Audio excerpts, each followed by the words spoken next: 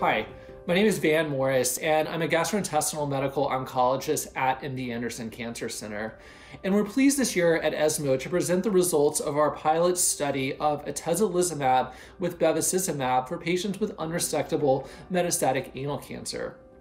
This trial builds upon uh, the success of, of anti PD 1 therapy as monotherapy that we had seen uh, in the NCI 9673 trial.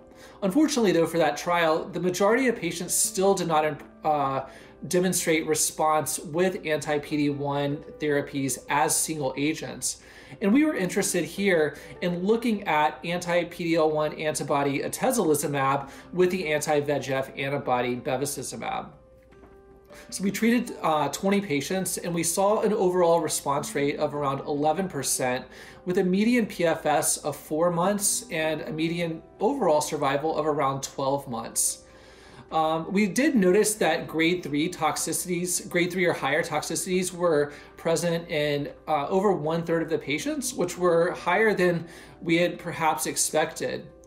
So we didn't see with this trial the added clinical efficacy that we had hoped for in this pilot study. But with that said, we still continue to work hard and uh, and study new combination approaches with immunotherapy uh, to, with the goal of improving outcomes further for patients with metastatic anal cancer.